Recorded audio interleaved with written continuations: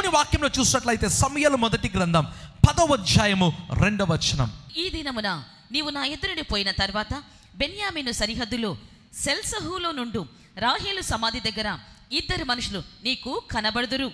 వారు నీవు వెతకపోయిన గార్ధమములు దొరికినవి? చాలండి. ఇది ఒక ప్రవచనాత్మకమైన మాట దేవుని బిడ్లారా. ఒక ప్రాఫెటికల్ వర్డ్స్ ఏమని రాయబడింది? నీవు వెతకబోయిన గార్ధమములు దొరికినవి. చప్పట్లు కొట్టి దేవుని నామాన్ని మహిమపరుస్తామా గార్ధపము అనే ప్లేస్లో దేవుని పెట్టారా నీ జీవితంలో నీవు ఏదైతే వెతుకుతుంటున్నావో అది అక్కడ ఉంచుకోవడం ప్రారంభించు. నీవు వెతకపోయిన ఉద్యోగము నీకు దొరికినది. నీవు వెతకపోయిన ఆశీర్వాదము నీకు దొరికినది. లేదా నీవు వెతకు ఏదైనా నీ జీవితంలో అది దొరికినది. అందుకే నేను చెప్పానండి శ్రేష్టమైనటువంటి మాట ద్వారా ఈరోజు దేవుడు మనతో మాట్లాడుతుంటున్నటువంటి మాట. This is a prophetical words ఇది ఒక ప్రవచనాత్మకమైనటువంటి మాట. మరి ఒక భయంకరమైనటువంటి సమస్యలో మరి ఒకవేళ మరి ఉంటున్నాము ఒక విషయంలో చాలా రోజులుగా ప్రయత్నిస్తున్నాము ప్రయత్నిస్తున్నాము ప్రయత్నిస్తున్నాము. మా ఎదుట అన్ని కూడా పుయబడి ఉన్నాయండి. పరిచర్యకు సంబంధించింది కాదు మా కుటుంబంలో మరి జరగవలసినటువంటి ఒక అద్భుతం ఒకటి ఉందండి. ఓ ఎన్ని ప్రయత్నములు చేసినా మరి చెప్పాలంటే చాలా ఎంత చేసినా కాలేదు. ప్రార్థన చేశాను ప్రభువా నీ సేవకులుగా ఇంత మేము వెతకాలనా? నీ సేవకులుగా ఇంత మేము ప్రయత్నించాలనా? ప్రియమైనటువంటి వాళ్ళరా దేవుడు నన్ను నిలబెట్టేశాడండి. ఈ మాట దగ్గర నీవు వెదకపోయిన గార్ధబములు దొరికినవి. ఈ మాట దగ్గర ప్రభు నన్ను నిలబెట్టేశాడు ప్రియమైన వాళ్ళరా. ఆ మాట నుంచి నేను ధ్యానించడం ప్రారంభించాను. సౌలు జీవితంలో మీరు చూసినట్లయితే సౌలు యొక్క తండ్రి పేరు కీషు. ఆ కీషు దగ్గర ఉన్నటువంటి గార్ధబములు తప్పిపోతాయండి. సో కీషు చెప్తాడు సౌలు లేదా నువ్వు వెళ్ళి గార్ధబములను వెతుకు. ఎన్ని చోట్ల వెతికాడో తెలుసా అండి సౌలు? నాకు అనిపించింది ఎఫ్రాయిము మన్యము మొదలుకొని ప్రారంభించాడు. ఎఫ్రాయిము మన్యము వెతికాడు. షాలిషా అనే దేశము వెతికాడు. షయాలిము దేశము వెతికాడు. బెన్యామినీల దేశము వెతికాడు. ఆ తర్వాత చూసినట్లయితే సూపు దేశములో వెతికాడు. ఎన్ని దేశములు అండి ఒక ఏమో మన్యము ఎఫ్రాయిము మన్యము. దాదాపు తర్వాత మిగతా ఐదు దేశములలో సౌలు వెతికడైతే దొరకలేదు. చివరిగా సమూహల దగ్గరికి వెళ్తాడండి. బైబిల్ బ్యూటిఫుల్ మాట దేవుని బిడ్లారా ఏమనుంటుందో తెలుసా?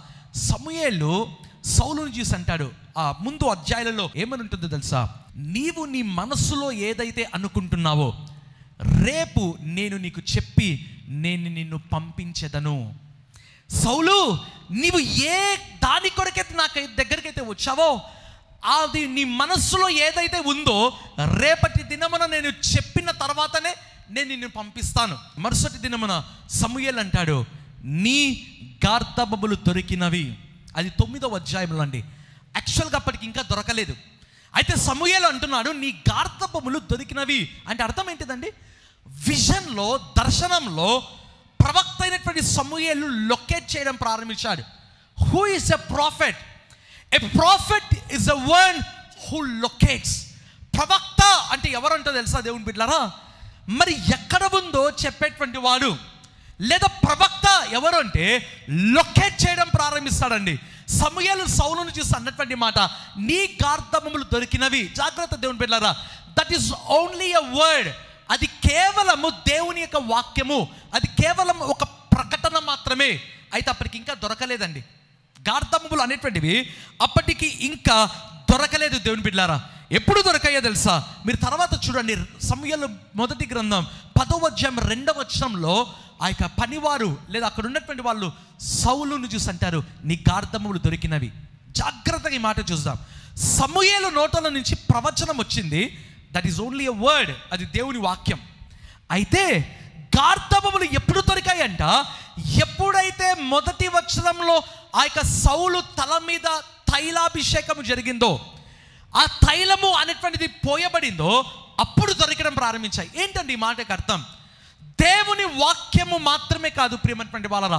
వాక్యము ఎప్పుడు ఆత్మదేవుని సపోర్ట్ చేస్తుంది పరిశుద్ధాత్మ దేవుడు ఎప్పుడు వాక్యముని సపోర్ట్ చేస్తుంది. ఒక గొప్ప దైవజనుడు ఒకరోజు నాతో మాట్లాడుతూ ఒక చక్కటి మాట అన్నాడు ఏ వాక్యము అయితే ఆత్మదేవుని support చేయదో it is not a word అన్నాడు ఆ మాట అనగానే నాకు భయం వేసిందండి ఎంతోమంది గొప్ప గొప్ప దైవజనులు ఉంటారు. ఆయన అన్నటువంటి మాట దేవుని వాక్యమును they may be preaching the word but if their word doesn't support the spirit of God it is not a word అది వాక్యమే కాదంట. దేవుని బిడ్డలారా వాక్యము పరిశుద్ధాత్మ దేవుడు ఎప్పుడు కలిసి ఉంటాయండి?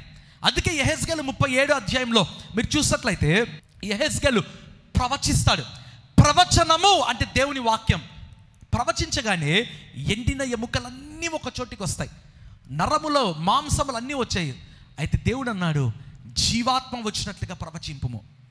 ఎప్పుడైతే ఆత్మదేవుడు వచ్చాయో అప్పుడే ఆ ఎముకలలోనికి జీవం వచ్చింది. వాక్యము ఉండాలి ఆత్మదేవుని కార్యములు ఉండాలి దేవుని బిడ్డారా ఇక్కడ చూసినట్లయితే సమూహలు మొదటి గ్రంథం తొమ్మిదవ అధ్యాయంలో సమూహలు దర్శనంలో చూస్తాడు ఆ గార్ధమములు ఎక్కడున్నాయి? వాక్యము చెప్పాడు. అయితే సమూహలు మొదటి గ్రంథం పదవ అధ్యాయంలో ఆ సౌలు మీద తైలాభిషేకం జరిగిన తర్వాతనే ఆ గార్ధములు కనబడ్డాయి. అదే ఈ మాట మనం చదువుకున్నాం. నీవు వెదకబోయిన గార్ధమములు దొరికినవి. హలలుయ